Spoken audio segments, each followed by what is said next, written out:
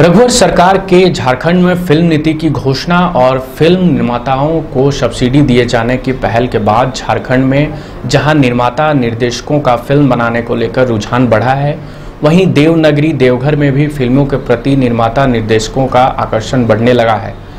मनोरम प्राकृतिक छटाओं के बीच स्थित देवघर फ़िल्म निर्माताओं के लिए, लोकेशन के लिए एक बेहतर जगह मानी जा रही है। देखिए रिपोर्ट। पिछले चौदह सालों में एक के बाद एक सिनेमा हॉल बंद होते गए और आज यह खंडहर में तब्दील हो गए हैं।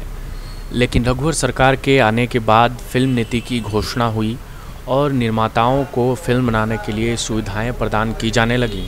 साथ ही उन्हें सब्सिडी भी दी जाने लगी, जिसके बाद झारखंड निर्माता निर्देशकों की पहली पसंद बन गई। इन सबों का असर देवघर पर भी पड़ा, जिसके बाद देवघर में भी फ़िल्म का क्रेज बढ़ने लगा। और आज यहाँ फ़िल्में भी बनने लगी और लगातार कई फ़िल्मों की शूटिंग हो रही है। कई निर्माता तो यहाँ अपना बेस कैंप भी खोलने जा रहे हैं। थी 2002 से मैं मैं 2002 से ये सोच रही थी कि यहाँ पर मूवी बने, यहाँ की प्राकृतिक खूबसूरती को बाहर तक जाए।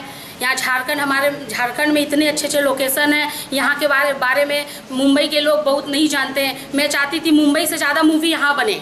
मैं हमेशा यही सोची हूँ और मुझे मतलब शुक्रगुजार हूँ रघुवर दास सरकार जी का कि उन्होंने इतनी अच्छी नीति दी सब्सिडी का। अगर सब्सिडी नहीं दिए दिए होते तो प्रोड्यूसर यहाँ आते नहीं। और प्रोड्यूसर नहीं आते तो हमारे बहुत सारे कलाकार हैं जो जो नहीं जा सकते मुंबई तक। उनको इतना अच्छा मतलब चांस ऑफ़र नहीं मिलता।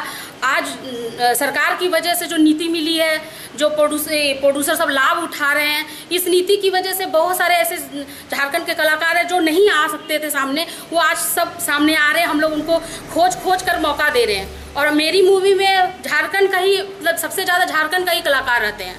और मैं हमेशा से ही यही सोच रखी हूँ कि मतलब मेरी, मेरा झारखंड का परचम देश विदेश में सब जगह लहराए, मैं ऐसी ही सोच हमेशा देवघर के खंडहर में तब्दील हो चुके सिनेमा घरों के दिन फिर से वापस आने वाले हैं, जिसकी शुरुआत मल्टीप्लेक्स खोले जाने से हो चुकी है। आज देवघर में संथाल परगना का पहला मल्टीप्लेक्स ओएलएक्स खुल चुका है। वहीं दूसरी तरफ़ कई सिनेमा घर मालिक भी अपने सिनेमा घरों को फिर से शुरू करने की कवायद शुरू कर चुके हैं।